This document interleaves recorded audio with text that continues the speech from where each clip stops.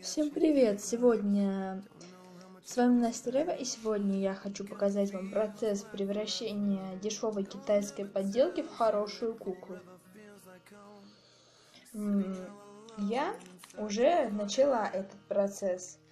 Начала немножко прошивать эту куклу, поменяла ей тело, потому что то оно вообще было не очень как бы поменяла ей платье, потому что то оно разваливалось буквально. Помыла ее.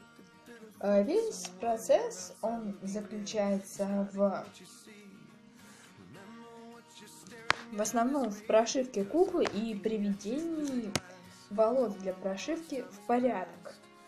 Видео о том, как прошивать куклу я уже выпускала на своем канале.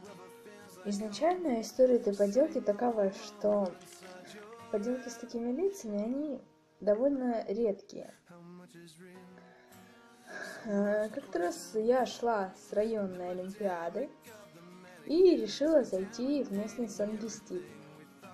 Ну, посмотреть, что там есть. У меня с собой было всего 60 рублей. А вот эта вот кукла стоила где-то 57-58 рублей. Ну, конечно, за такую дешевую цену не купить, как не купить такую красивую куклу. Волосы я уже заводски убрала, потому что это был просто трэш. Они путались, вырывались. Я не знаю, как еще, когда они вырывались, они не порвали случайно голову. В общем, сейчас я начну процесс прошивки. И в процессе буду снимать вам, буду показывать вам куклу. Вот такой вот у нас получается предварительный результат. Э, и вот так выглядит. Сейчас уберу. Вот так вот выглядит. И если все устраивает, можно продолжать работу дальше. Если что-то не устраивает, и вы хотите что-то изменить, вы можете удалить эти волосы. Это будет не очень легко, но работа того стоит.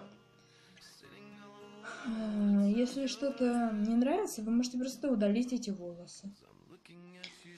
Наша кукла прошита, и теперь мы пойдем укладывать ей волосы с помощью с помощью кипятка.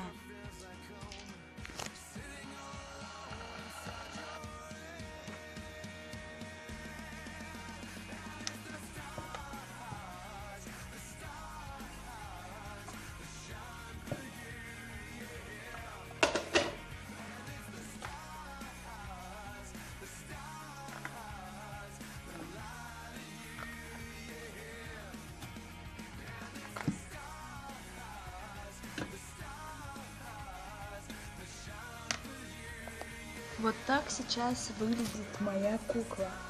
Моя работа над ней уже закончена, но если вас не устраивает жесткость волос куклы, то есть вы считаете, что они слишком жесткие, вы можете смешать воду с порошком, положить туда куклу на 15 минут.